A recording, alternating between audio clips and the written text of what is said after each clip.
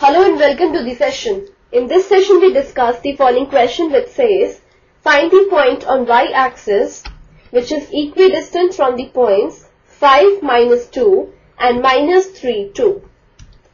Before we move on to the solution, let's recall the distance formula to find the distance between the two given points.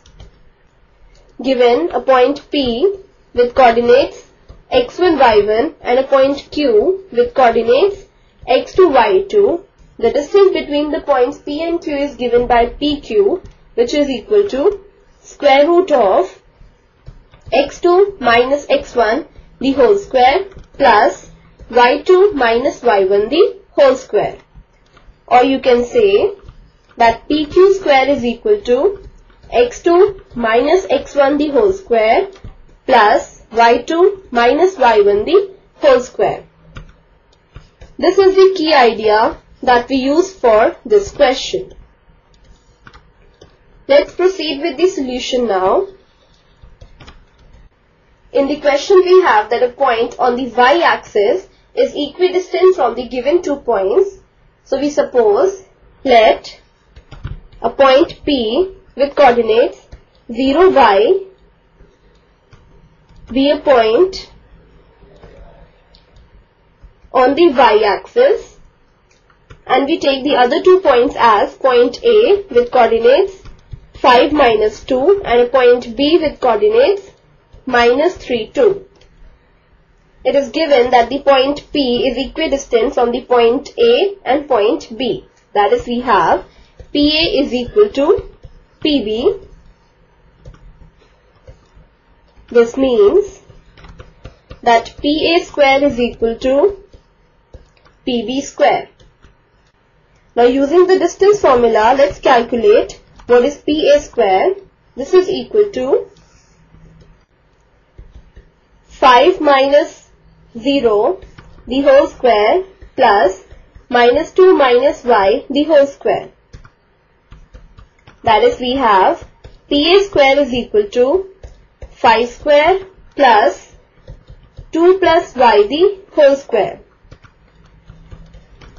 Further, PA square is equal to 25 plus 4 plus 4y plus y square or you can say that PA square is equal to y square plus 4y plus 29.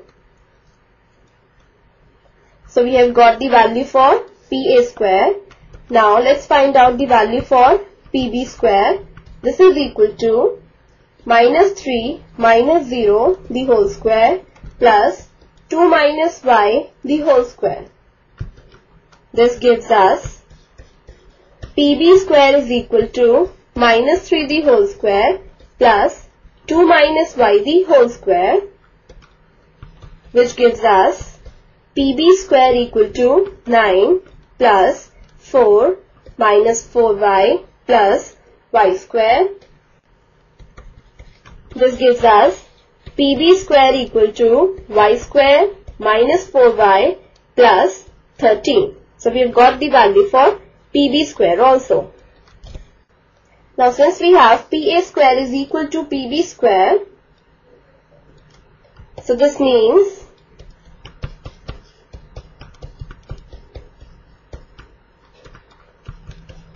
that y square plus 4y plus 29 is equal to y square minus 4y plus 13.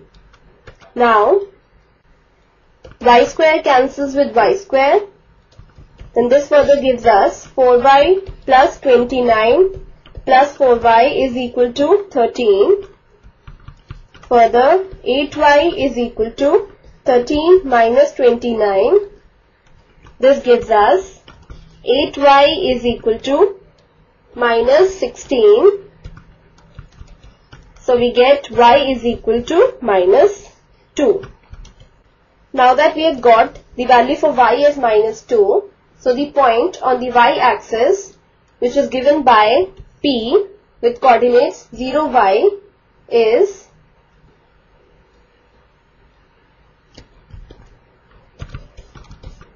the point P with coordinates 0, minus 2. So P with coordinate 0 minus 2 is the